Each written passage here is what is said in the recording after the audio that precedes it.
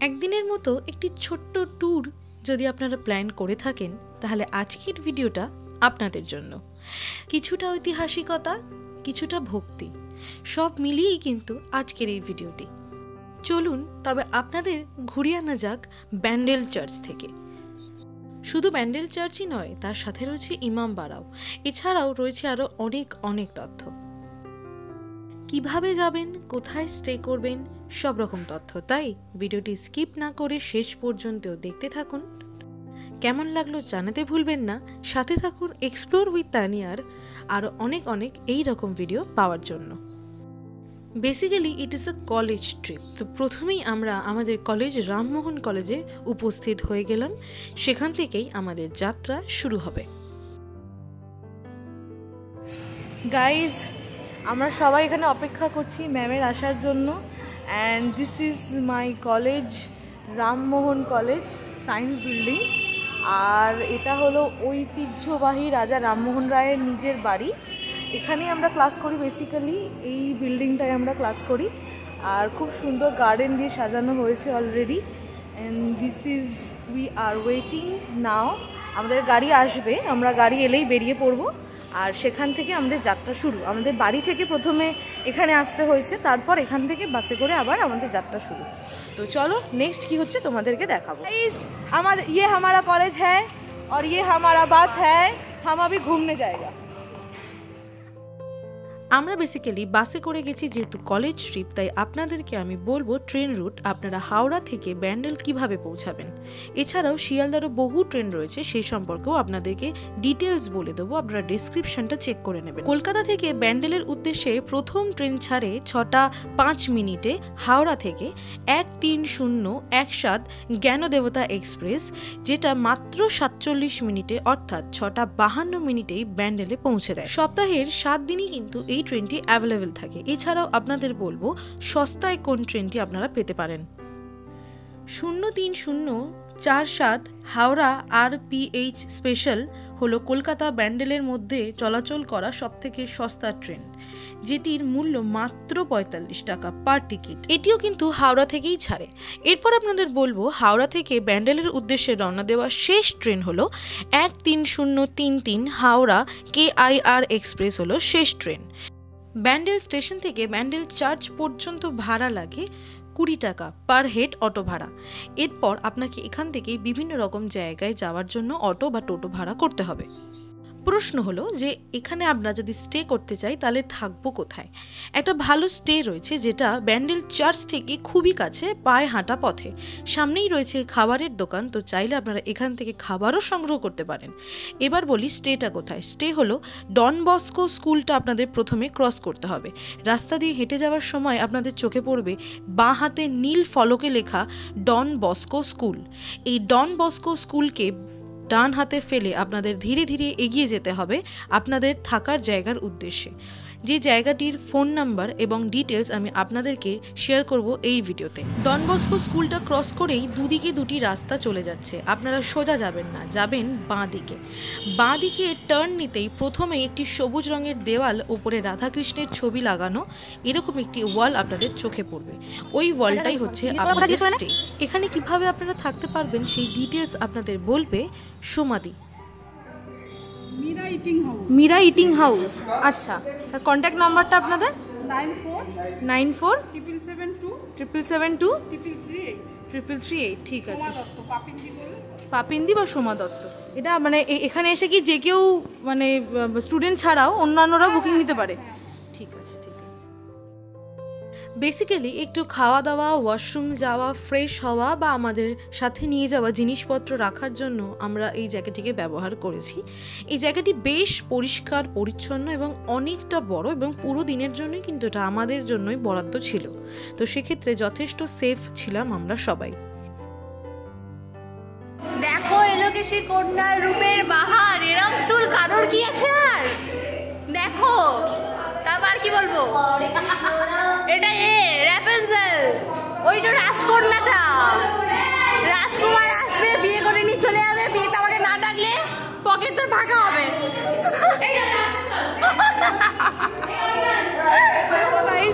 আমরা এখন ব্যান্ডেল চার্চ দেখতে বেরিয়েছি। সবাই মিলে বেরিয়েছি। আগে অনেক লোকজন আছে, তোমরা দেখে নিতে পারো। এখন আমরা এখান থেকে ব্যান্ডেল চার্চ দেখব, তারপর ইমামবাড়া যাব, মাঝখানে খাওয়া দাওয়া আছে, অনেক কিছু আছে। দেখতে থাকো। ব্যান্ডেল চার্চের একদম মেন গেটের বাইরেই রয়েছে বিভিন্ন রকম সামগ্রী সংগ্রহ করার দোকান। আপনারা চাইলে এখান থেকে বিভিন্ন রকমের জিনিস সংগ্রহ করতে পারেন। আপনাদের জন্য রইল ব্যান্ডেল চার্চ পরিদর্শনের জন্য সময়সূচি। আপনাদের জন্য বলে রাখি, এই ব্যান্ডেল চার্চে প্রবেশের জন্য কোনো প্রবেশ মূল্যের প্রয়োজন হয় না। সম্পূর্ণ বিনামূল্যেই আপনারা পুরো চার্চ পরিভ্রমণ করতে পারেন। ব্যান্ডেল চার্চ পশ্চিমবঙ্গের প্রাচীনতম খ্রিস্টান গির্জাগুলির মধ্যে একটি। ব্যান্ডেল চার্চে একদম চার্চ, তার অপোজিটেই এরকম ইয়ে পাওয়া যাচ্ছে, বিভিন্ন রকম মোমবাতি টোমবাতি কালারের বিভিন্ন প্রাইজের মোমবাতি পাওয়া যাচ্ছে। তোমরা চাইলে এখান থেকে সংগ্রহ করতে পারো, চাইলে বাইরে থেকেও করে আনতে পারো অ্যাজ ইয়োর উইশ আর আমরা এখান থেকেই সংগ্রহ করছি। যদিও এরা চার্চের বাইরে রয়েছে, এখান থেকেই এরা ভেতর থেকে হাত বাড়িয়ে বাড়িয়ে দিচ্ছে আর কি। এই গির্জার পোশাকি নাম the basilica of the holy rosary Bandel.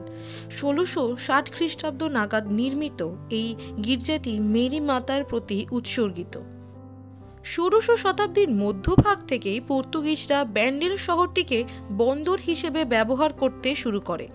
পনেরোশো একাত্তর খ্রিস্টাব্দে তারা মুঘল সম্রাট আকবরের নিকট থেকে হুগলিতে একটি শহর নির্মাণের অনুমতি পায়। এখানে বসবাস শুরু করলে তাদের পাদ্রীরা স্থানীয় লোকেদের ধর্মান্তরিত করতে শুরু করেন। আঠেরোশো আটানব্বই খ্রিস্টাব্দ নাগাদ হুগলিতে ক্যাথলিক খ্রিস্ট ধর্মাবলম্বীদের সংখ্যা ছিল প্রায় পাঁচ হাজার। এদের মধ্যে যেমন স্থানীয় অধিবাসীরাও ছিলেন, তেমনি ছিলেন মিশ্র জাতির লোকজনও। এখানে নির্মিত একটি মিউজিয়াম সম্পর্কে তথ্য দেবেন আমাদের শ্রদ্ধেয় ম্যামরা। পর্তুগাল থেকে এসেছিল, তার ছবিটা এখানে রয়েছে। তারপরে সেটা সমুদ্র থেকে গঙ্গার দিকে আসছে, এসেছিল।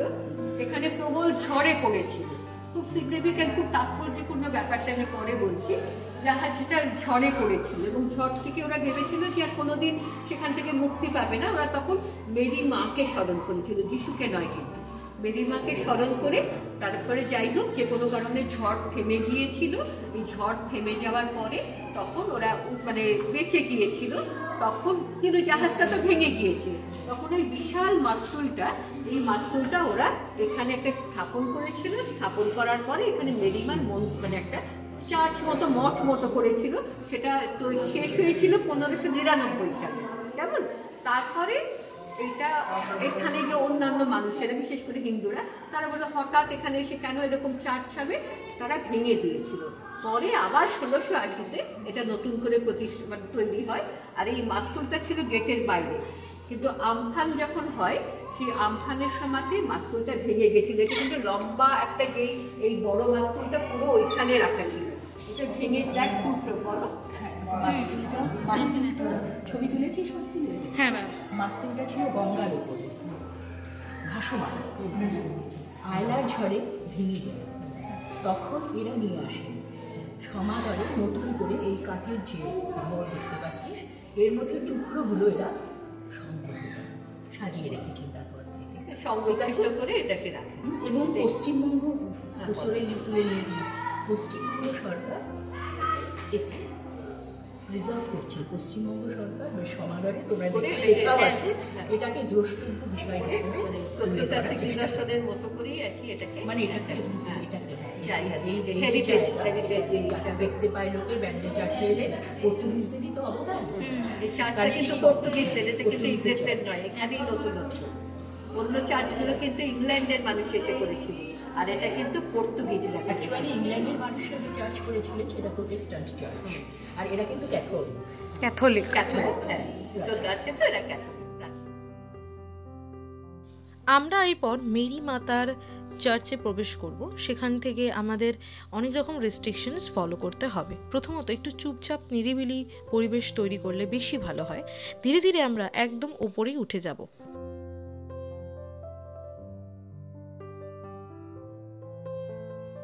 চার্চের ভেতরে করিডোরগুলির মধ্যে যীশুখ্রিস্টের জন্ম এবং কর্ম সম্পর্কে বিভিন্ন রকম তথ্য দেওয়া রয়েছে। আপনারা চাইলে সেগুলি পড়তে পারেন। এছাড়াও রয়েছে এখানে সুন্দর বাগান। ধীরে ধীরে চেষ্টা করব একদম চার্চের উপরে চলে যাওয়ার, যেখানেই মেরি মাতা পূজিত হন ভক্তদের দ্বারা।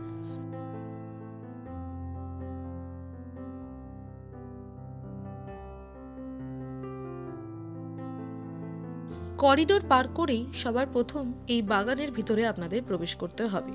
সেখান থেকে আপনাদের ওপরে যাওয়ার জন্য সিঁড়ি চোখে পড়বে।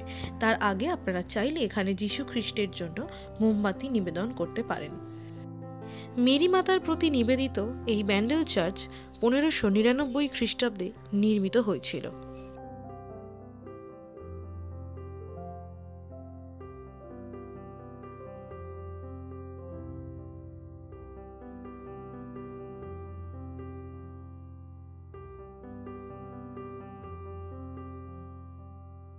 এরপরেই সিঁড়ি দিয়ে ওপরে উঠে যাওয়ার পালা যেখানে মেরি মাতা পূজিত হন।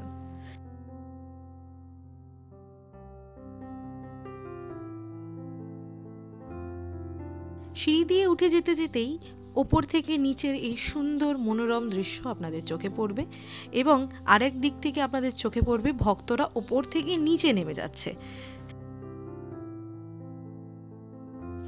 এই হলো মেরি মাতার আরাধনার কক্ষ, যেখানে সবাই বসে প্রার্থনা সংগীত গাইছে। কক্ষ থেকে বেরিয়ে নিচে যাওয়ার পথেও আপনাদের চোখে পড়বে সবাই দাঁড়িয়ে এখানে প্রার্থনার সংগীত গাইছে।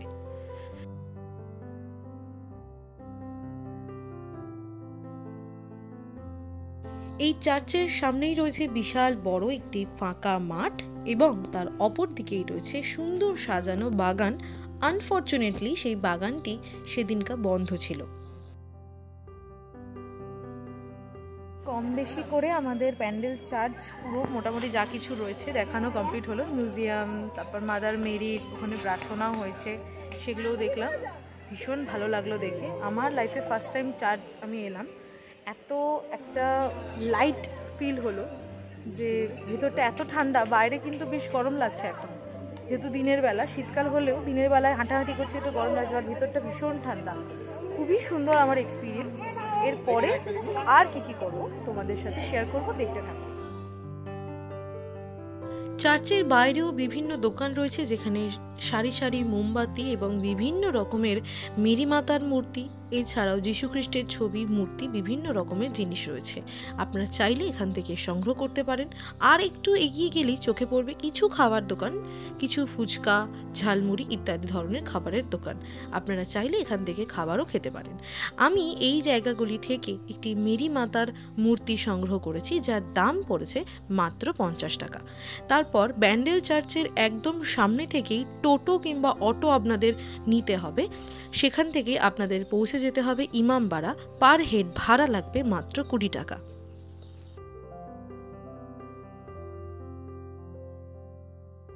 এটি হলো আজকের দ্বিতীয় লোকেশন হুগলি ইমামবাড়া আপনাদের জন্য সময়সূচি রইল, কোন সময় আপনারা এখানে আসতে পারেন, এবং এর এন্ট্রি ফিস হলো পার হেড দশ টাকা।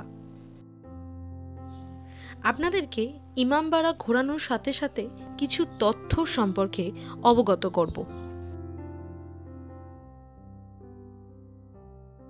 হুগলি ইমামবাড়া ভারতের পশ্চিমবঙ্গ রাজ্যের হুগলি জেলায় অবস্থিত একটি শিয়া মুসলিম ইমামবাড়া ও মসজিদ।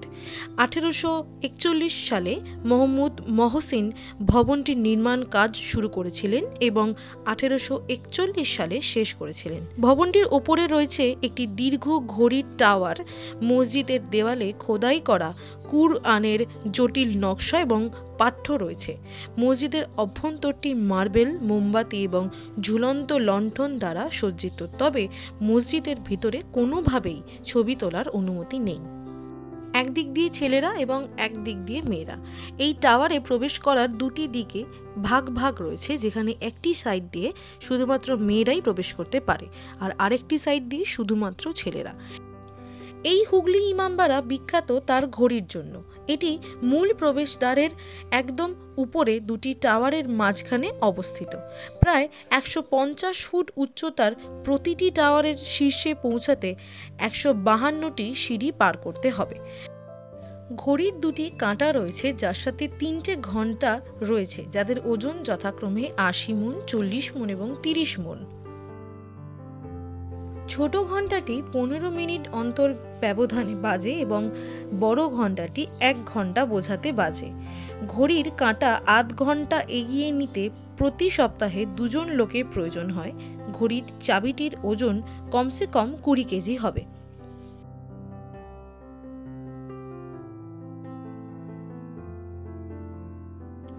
একশো বাহান্নটি সিঁড়ি পার করে যাওয়ার পর আপনাদের চোখে পড়বে টাওয়ারের ওপর থেকে এই সুন্দর মনোরম দৃশ্য।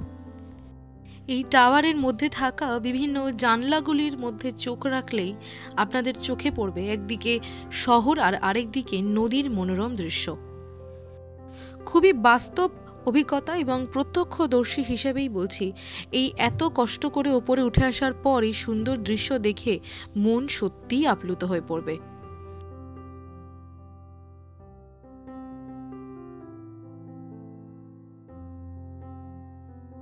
তারপর ধীরে ধীরে এবং অত্যন্ত সন্তর্পণে সবকটি সিঁড়ি পার করে নিচে আসার পর বাকি ইমামবাড়াটি আপনারা ঘুরে দেখতে পারেন। সম্পূর্ণ ইমামবাড়া জুড়েই ইতিহাস যেন আষ্টে পৃষ্ঠে বেঁধে রেখেছে নিজেকে।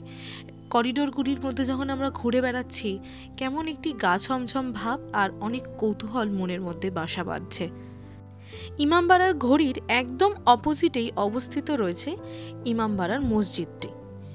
যেহেতু এখানে ছবি তোলা বারণ, তাই আমাদের আটকে দেওয়া হলো, ছবি তুলতে দেওয়া হলো না। এরপর যাওয়া যাক সূর্য ঘড়ি দেখার জন্য। ইমামবাড়ার একদম পিছন দিক থেকে, অর্থাৎ মসজিদের পাশ থেকেই এগিয়ে যেতে হবে সূর্য ঘড়ি দেখার জন্য। সেখান থেকেই সিঁড়ি দিয়ে নেমে যাওয়ার পর সর্বপ্রথম আপনাদের চোখে পড়বে গঙ্গা এবং বিভিন্ন রকমের খাবার দোকান। আপনারা চাইলে এখান থেকে খাবার খেতে পারেন। অনেকেই এখানে বসে পিকনিক করছে দেখলাম, আপনারা চাইলে সেটিও করতে পারেন। বিভিন্ন রকম খাবার দোকানের পাশাপাশি এখানে রয়েছে বোটিং করার ব্যবস্থা। সেক্ষেত্রে ব্রিজের নিচ থেকে একবার রাউন্ড দিয়ে আসতে এখানে পার হেড বোটিংয়ের জন্য ষাট টাকা করে প্রয়োজন হচ্ছে। আপনারা চাইলে বোটিংও করতে পারেন। এই মাঠেই একটু উঁচু জায়গায় সিঁড়ি দিয়ে যেখানে আপনাদের উঠতে হবে, এইরকম একটি উঁচু জায়গায় রেলিং দিয়ে ঘেরা রয়েছে সূর্য ঘড়িটি। আর এটি হলো সেই সূর্য ঘড়ি, যেটি দেখতে শয় শয় মানুষ এখানে ভিড় জমায়। একদিকে মসজিদ, একদিকে চার্চ, সমস্ত ধর্মের আরাধনা শেষ করে সূর্য অস্ত যাওয়ার সাথে সাথে আমাদের সকলের বাড়ি ফিরে যাওয়ার পালা। আজকের ভিডিওটি তাই এখানেই সমাপ্ত। তোমাদের কেমন লাগল কমেন্টে জানিও। সাবস্ক্রাইব করে রেখো আরও অনেক ভিডিও পাওয়ার জন্য। অনেক ধন্যবাদ সবাইকে।